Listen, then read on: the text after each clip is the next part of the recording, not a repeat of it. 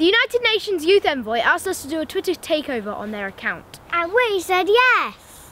So we made this video to explain why we sing. We can use our voice to help the planet. I'm too young to vote. And I don't have much pocket money.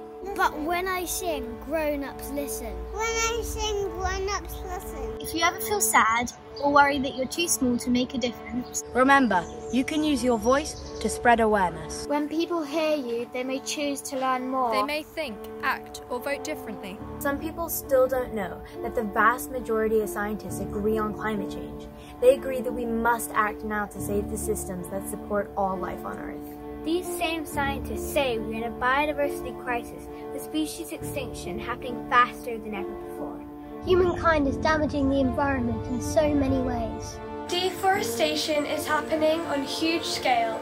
Humankind is polluting the sea, earth and air. Animals get hurt by rubbish. Overconsumption of natural resources is a huge problem. Devastating for the health of our planet. So much that we're throwing the world off balance.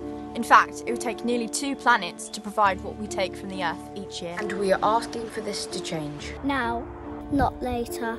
If humans have the power to cause so much destruction, then humans must have the power to put it right. If we care enough, if we really try, if bold environmental action is taken by countries all over the world. Now, not later. There's time to change the future of our beautiful planet. This is why I sing. This is why I sing. This is why I sing.